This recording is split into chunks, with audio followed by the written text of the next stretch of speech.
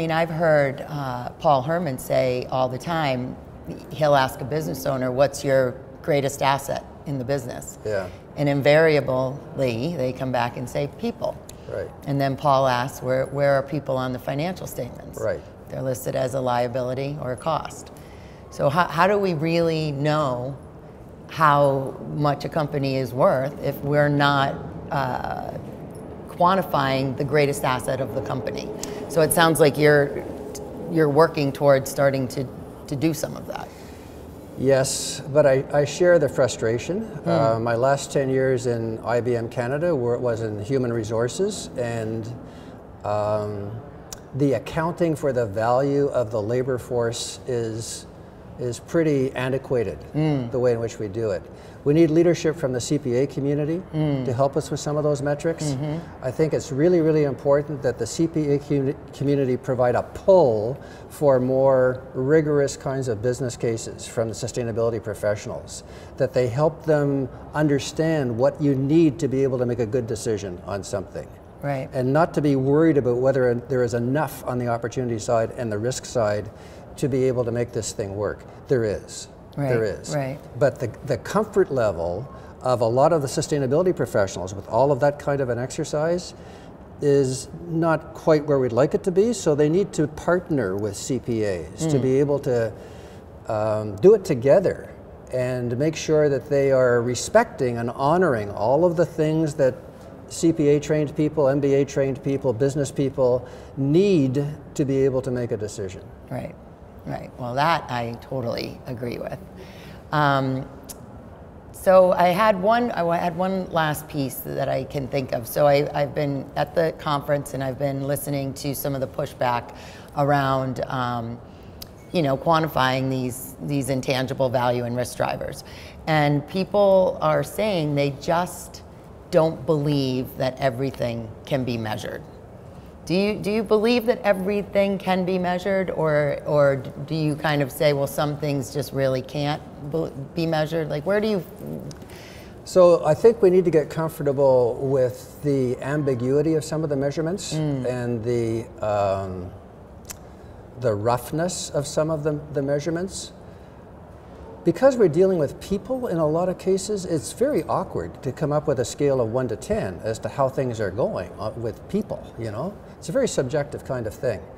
But rightly or wrongly, business makes decisions based on numbers. And I think it behooves us to help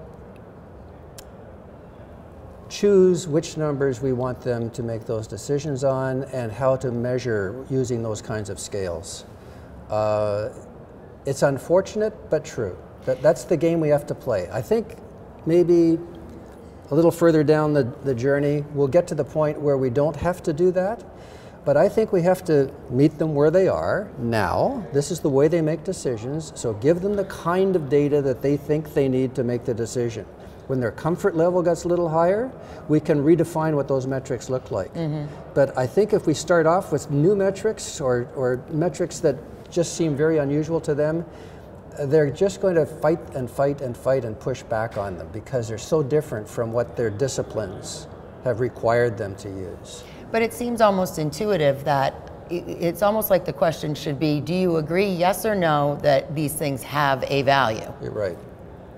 And of course, they'd say that. Say yes, but they're not required to report on them to Well, the SEC or to anybody else, if they're material. You would think they would anyway, but they but they report on what they're required to report on. It's the whole transparency issue, right? Right. So. Uh, when you read and rank companies on how they're doing on a lot of things, it's a very limited list of things that you can use because companies don't have to disclose that stuff. And if they don't disclose it, how do you rank them?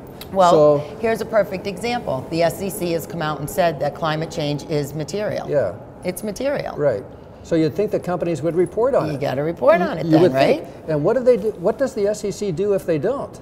Nothing. Exactly. That's the so there's no teeth in it. Right. So you know they're supposed to report on it, but it's a pretty lame approach that most companies use because they report on scope one, maybe, maybe scope two and Right. scope one, but never scope three. Right. So th- you get a very distorted view of how they're doing on things like climate change and greenhouse gas emissions and carbon dioxide and, and so on. Um, And unless there are teeth in the request or requirement to be transparent, it's, it's a game. Yeah. It's a game. You saying that reminds me of the CPA community because when you bring these ideas and concepts to them and they are not the one that came up with it, Right. And they don't understand it exactly, they tend to shut down and they're not going to bring up anything to their client that they do not thoroughly understand Right. and thoroughly believe in. Right. Where they could open up any kind of um, discrepancy between what they know and how they're serving their clients. Right. And I think with the CPAs, though, if we're going to advance this movement, we have to figure out a way to engage them. You're right. There are three professions that run the world Right, CPAs, Right. engineers, and maybe lawyers. right, All of them have a role to play. The most important one is CPAs. The second most important is engineers. Um, but CPAs are everywhere. I mean, they are everywhere. Yep. Or equivalents like MBA types. But we have to ensure that the training that they receive as CPAs legitimizes the kind of thing that we're talking about. So Right. somewhere in the certification process, Right. there needs to be modules that talk about that. Somewhere in the MBA schools, there need to be modules that talk about this. Right. And then when they go out, they're ready for this. This is not a, a weird and, and wonderful business case. This is the, a normal business case. This is the way you do business cases. Right. This just happens to be about sustainability.